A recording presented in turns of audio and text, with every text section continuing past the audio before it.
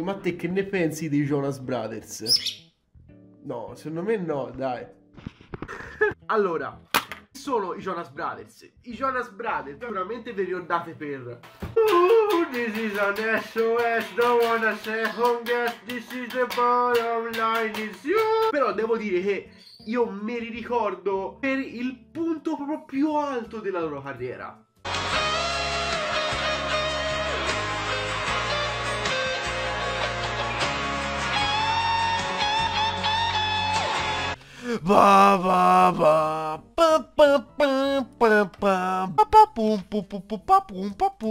Io tutti i giochi. Al battemulatore.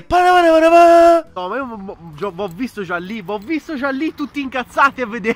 Eh, OBS White Studio Stai registrando da un emulatore Quindi voi Poco Gaming che siete tutti contro l'illegalità Contro le cose le droghe. Ora fate un gioco scaricato da .home legalmente. Capite assolutamente nulla vi racconterò un piccolo aneddoto. Allora tutti comunque abbiamo nel gruppo d'amici un amico coglione. Uh, chi lo conosce sa chi è cioè fa sempre cose stupide prende sempre decisioni stupide. C'è quella legge diciamo fisica di Lori Clinton dice che se non sai chi è quel coglione molto probabilmente sei tu. Ecco, io non sapevo chi fosse fino ad oggi. E quindi, a proposito di questo, oggi abbiamo una testimonianza che ci racconterà e che ci confermerà che quell'acquisto purtroppo è reale.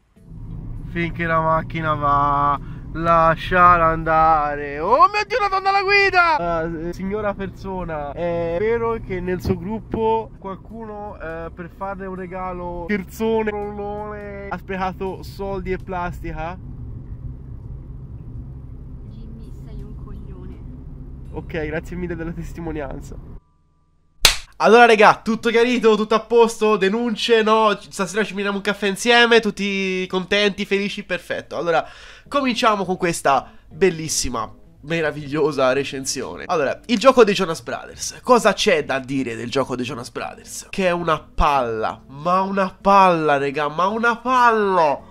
Forse non ha aiutato il fatto che ho dovuto registrare il gameplay tre volte perché ho fatto un'ora di gioco, poi è successa una cosa e si è corrotto il file. Poi ho fatto un'altra ora di gioco e il computer si è riavviato tranquillamente mentre stavo registrando, corrompendo un'altra volta il file. Quindi di sto gioco ho le palle piene. Se anche volevo parlarne un minimo male, ora proprio lo, lo distruggerò. Allora, incominciamo a parlare un po' di chi sono. Di chi sono sti Jonas Brothers. I Jonas Brothers sono un gruppo che era famoso a metà degli anni 2000, forse fino al 2010 sono stati abbastanza famosi. Ora non so che cazzo di fine abbiano fatto, a parte Nick che scazza soli in live così, ma non so neanche cosa minchia stia facendo lui, quindi questo gioco, e io all'inizio mentre stavo registrando gameplay non l'avevo capito, è il gioco della serie tv dei Jonas Brothers. Sappiamo già che praticamente le premesse sono orribili, quindi una realizzazione ehm, orrenda e scontata. Ma non fino a questo punto, ragazzi. Non fino a questo punto. Allora, la trama. Tu ti aspetti comunque dal gioco dei Jonas Brothers che la trama sia un minimo relativa alla musica. Il cazzo. Il cazzo. Non c'è un minimo riferimento alla musica in generale per le prime due ore di gioco. Cioè, praticamente è tutto un gossip. È tutto un. Guarda che cazzo fanno di Jonas Brothers. Cioè, guarda come puoi controllare le, le loro giornate. Ma neanche controllare. Cioè, il gioco inizia così. Tu sei. Nick. Nick, sì, mi pare. E ti svegli dalla tua caserma dei pompieri. Vai giù e la tua mamma, che praticamente la prima. Cioè, tu la vedi e, e dici. Oh mio Dio, no! Un povero esemplare di modello 3D olipoligonale! Oh, vieni qui che ti metto un po' di anti-aliasing, guarda, questa è la prima... Ti fa proprio pena, perché è orribile, cioè, ok che già l'emulatore peggiora la grafica di suo, ok che già il gioco, cioè il DS comunque è quello che è a livello di hardware, ma vi giuro, ho visto la madre cioè, è davvero deprimente. Tua mamma dice, oh guarda, quegli altri due stanno dormendo, svegliali. E capisci già eh, a quel punto quale sarà la forma principale di gameplay. Ci sono i due fratelli che dormono. Tu per esempio trovi una radiolina, ne raccogli la potenza, riempi una barra, di modo che tu possa andare davanti a eh, uno dei due fratelli Jonas, fare un minigioco per suonare qualcosa, fare casino e svegliarli, quindi risolvi un enigma. Tu praticamente hai dei, eh, devi, suoni praticamente mh, facendo la, la plettrata con lo stilo mentre premi un, uh, dat- un dato tasto del, di pad, ok? E lo devi fare eh, entro un... Uh, entro un limite di tempo. Quindi, per esempio, um, entro 10 secondi devi fare la combinazione giù, destra, sinistra, su, mentre uh, dai la plettrata e suoni. Le note che usciranno fuori saranno sempre le solite 4 e non saranno assolutamente influite da quale tasto del D-pad stai premendo o da come suoni.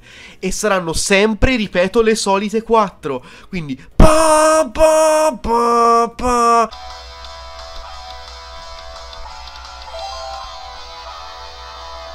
Bravo, hai suonato quattro note. Madonna, ma che bambino bravo che sei. Che bambino intelligente. C'ho un figliolo che è un genio musicale. È un'idea orribile, già di base. Realizzata pure male perché controlli non li prende. Non li prende. E tu direi, va bene, questo è un minigioco. No, non è un minigioco, questa è la forma di gameplay della modalità storia.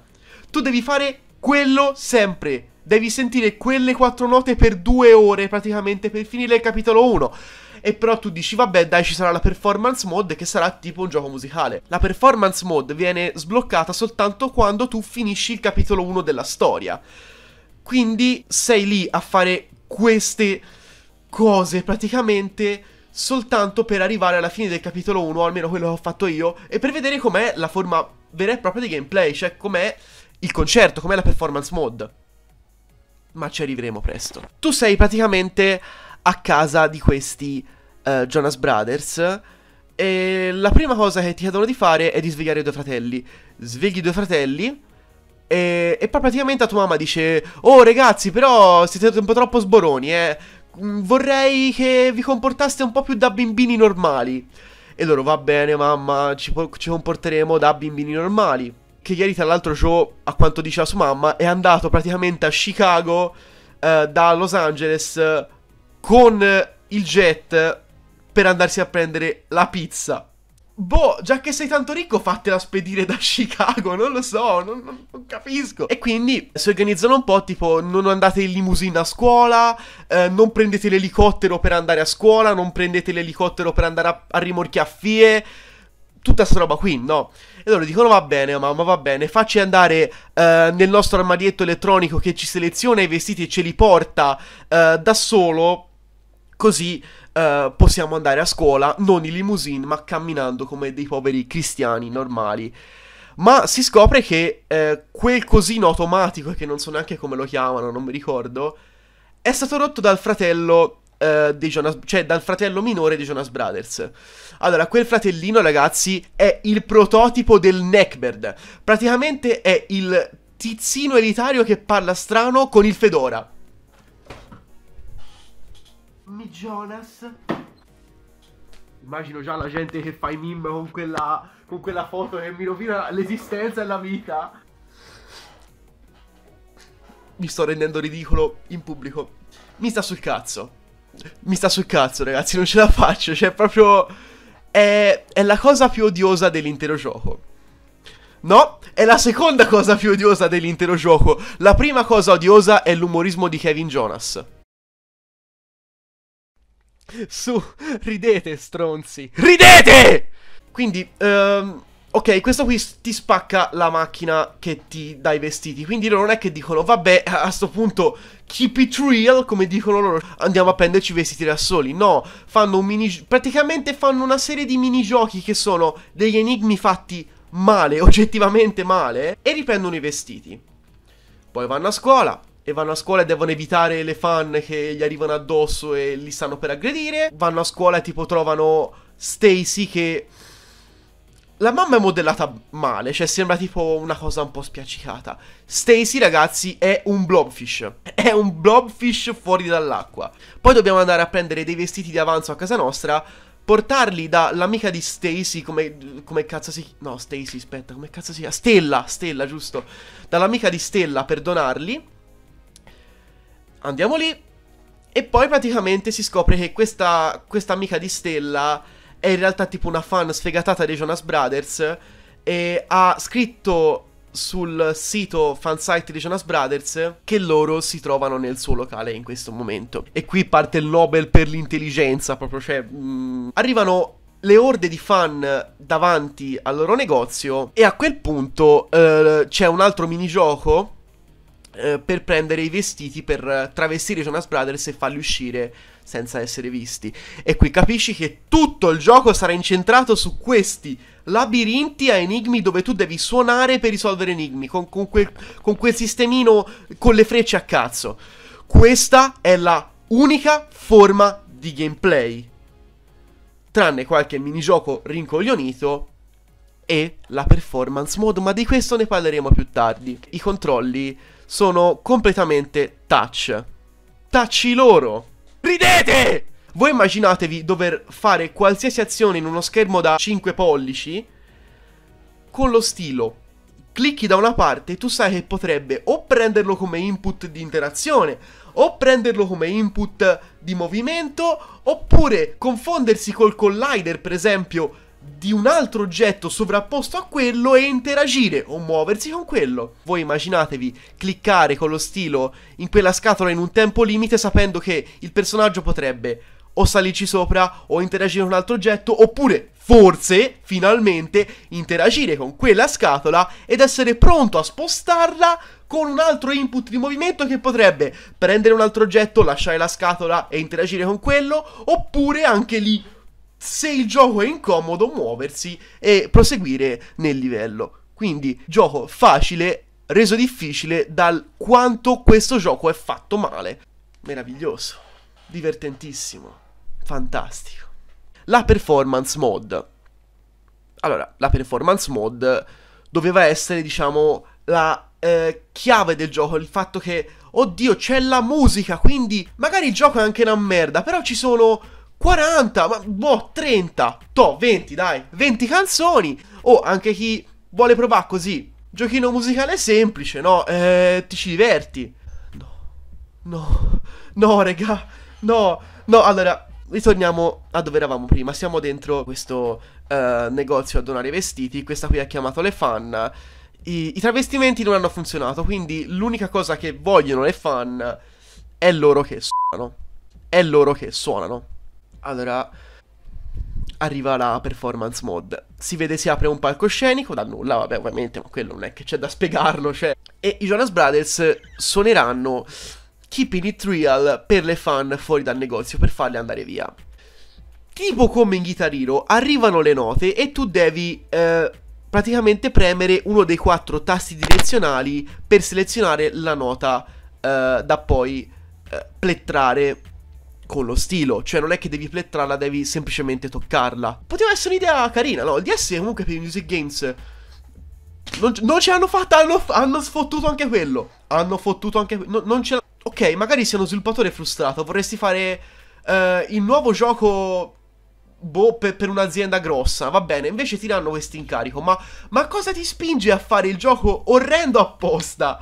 Perché, allora, io pensavo fosse un problema di emulazione le note erano tutte fuori sync. E praticamente non è che tu hai la traccia di chitarra che viene suonata se le note sono giuste. No, tu hai la traccia della canzone completa con, tutte, con tutti gli strumenti e, e tu praticamente suoni sopra la canzone. E non è che suoni note almeno della canzone stessa, suoni due note a caso, scelte arbitrariamente dal gioco così, senza nessun preavviso, senza nessun totalmente fuori tempo rispetto alla canzone. Questo praticamente è un gioco dove de- ti arrivano le cose e tu le devi fare. Cioè, perché? E poi ho detto, vabbè, come dicevo prima, magari sarà un problema dell'emulazione, no? Eh, l'emulatore ha fatto un po' cilecca e mi ha desincato le tracce audio, no? Sono andato su internet a vedere dei gameplay registrati dal DS e sì, sì, sono fuori tempo pure quelle. Cioè, proprio il gioco è stato programmato fuori tempo. E tra l'altro Keeping It Real ha un fondo di 30 secondi in cui la canzone finisce ma le note continuano ad arrivare. E no, neanche questo è un errore di emulazione, è stato programmato così il gioco. E tra l'altro eh, sono andato nel menu della performance mod e si vede tutte le canzoni sbloccate e tutte quelle bloccate. Beh, le tracce nel gioco in totale, sì Tadri, sono sette. Credo non ci sia altro da aggiungere.